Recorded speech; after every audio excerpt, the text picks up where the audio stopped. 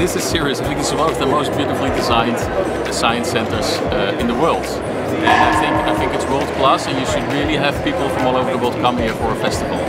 I, I, love the architecture, I love the spaces, the, the, how the images, the size of the images, the, the lighting, uh, very beautiful. It, it's good compared to New York, uh, Hayden or or uh, Valencia um, or uh, well the Sydney Opera House Dragão.